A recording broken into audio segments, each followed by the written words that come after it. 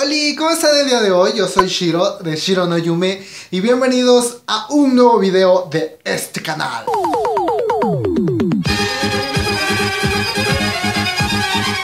Seguramente ya leyeron aquí en el título y sí, hoy no vamos a hablar de K-pop ni nada que tenga que ver con los idols de Corea del Sur, pero sí con Corea del Sur porque hoy vamos a hablar de política pero sí he estado viendo en Facebook algunas noticias con algunos temas que tienen que ver con Corea del Sur y México, entonces se me hizo padre tratarlos y hacer un video como con opinión y para que ustedes también conozcan y no estén centrados nada más como en K-pop, dramas. Seguramente muchos de ustedes ya saben qué onda con lo que está pasando con pues la situación de México con Estados Unidos, de que Donald Trump entró a la presidencia de Estados Unidos y como que trae pique con los mexicanos.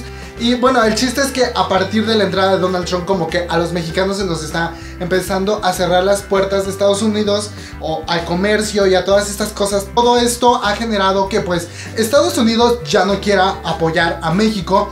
Pero ¿qué pasa?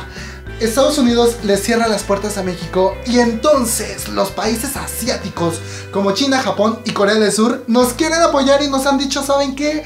Hermanos mexicanos, no se preocupen, no se preocupen, no pasa nada, nosotros los vamos a apoyar, vénganse, tenemos el ojo chiquito, pero miren, somos rechingones para los negocios.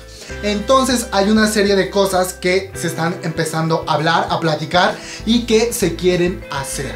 Dicho esto, toda la información que les voy a compartir ahorita la he leído en la página de Facebook de la Embajada de Corea del Sur. Que si ustedes no la siguen y son de México, deberían de seguirlo. Que si a ti te gusta Corea del Sur y la cultura y el entretenimiento, el K-pop, los dramas, obviamente por eso estás viendo este video. Pero si a ti te gusta, pues está cool que vayas y sigas a la página de la Embajada de Corea del Sur. Digo, la Embajada de Corea del Sur no me está dando nada por promocionarlos, ni me está patrocinando nada, nada, nada.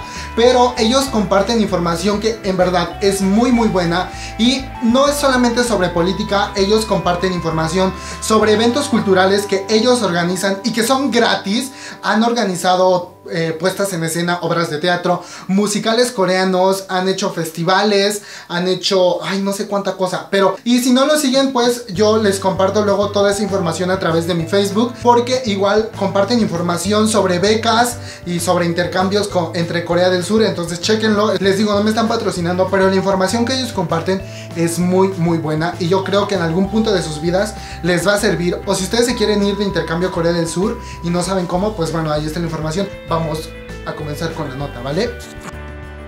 Oli, creo que me hice un poquito de bolas en yo tratar de explicar, así que ahora les traigo como la nota bien redactada, así que pongan mucha atención. Si no son de México, quizás esto también les pueda interesar porque posiblemente se esté haciendo algo igual en sus países y ustedes pues no se han enterado.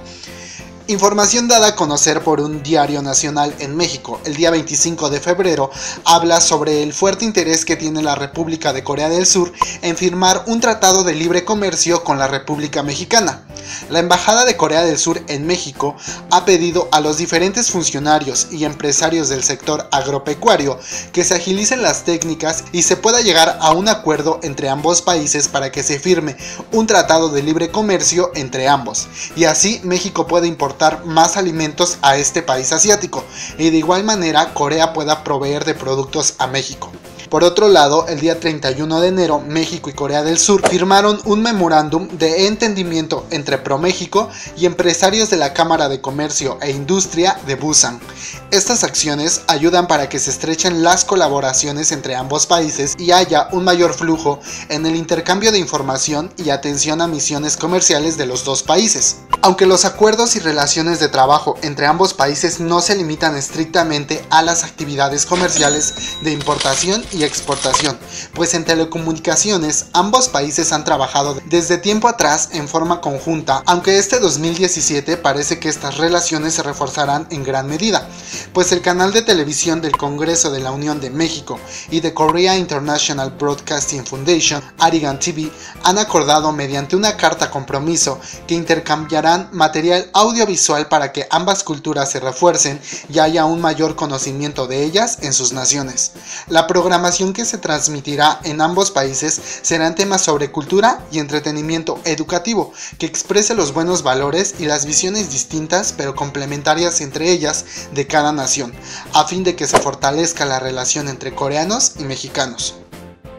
A pesar de que Latinoamérica es uno de los principales socios comerciales de Corea del Sur, las comunicaciones aéreas son pocas y son limitadas las aerolíneas de Latinoamérica que se conectan directamente con la capital surcoreana.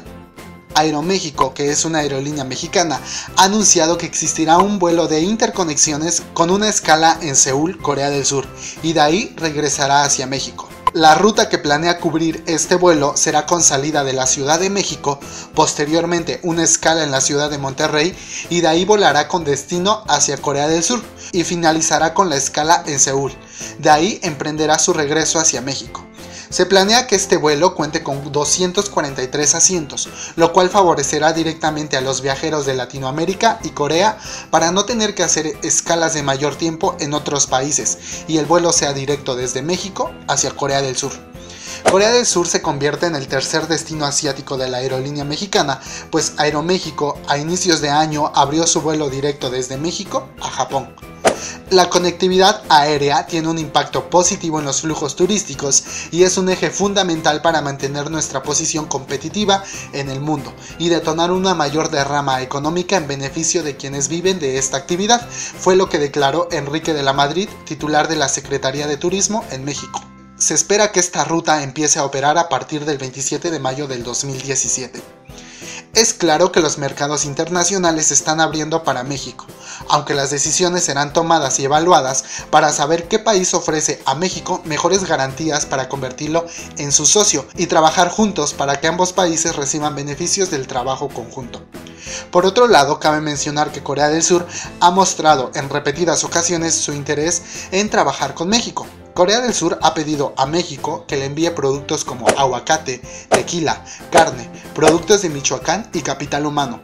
Para ello, México y Corea deben de firmar un tratado de libre comercio y llegar a acuerdos que beneficien a todas las partes involucradas aunque como se menciona, este país asiático no solo quiere trabajar en el terreno de las exportaciones e importaciones, ya que el turismo, las telecomunicaciones y otros aspectos culturales han sido tema de plática entre el embajador y funcionarios coreanos con el gobierno de México. Y pues bueno, hasta aquí el video del día de hoy, espero les haya gustado. Aquí abajo en los comentarios quiero que ustedes me digan qué opinan de que Corea del Sur y México estén empezando a trabajar juntos, no solamente con Corea del Sur, sino que... Ay, me estoy sino con países como Japón y China y seguramente en sus países está pasando algo igual, pero como ustedes no leen porque no les gusta o porque son flojos o porque piensan que a todo el mundo o porque piensan que todo en su vida es K-pop, quien quite después yo ya está en el canal del Congreso ahí hablando en coreano, dando noticias, la Lolita Yala de los K-popers.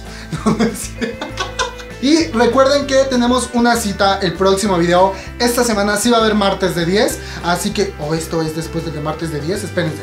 Creo que este video es después del de martes de 10. Bueno, de todos modos, si es antes o después. Antes o después. Recuerden que hubo o va a haber video de martes de 10 para que lo chequen.